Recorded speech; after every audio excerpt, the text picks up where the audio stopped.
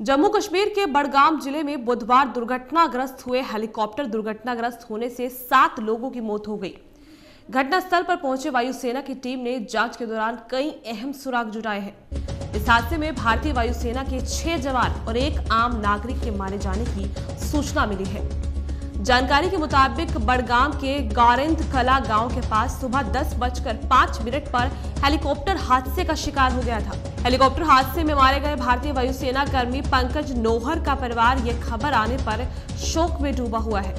नौहर के पिता सेवानिवृत्त सूबेदार नौभाग सिंह ने कहा कि उन्हें बुधवार की शाम फ़ोन पर हादसे और उनके बड़े बेटे की मौत का दुखद समाचार दिया गया। उन्होंने कहा कि उनका बेटा पूरे मथुरा का था।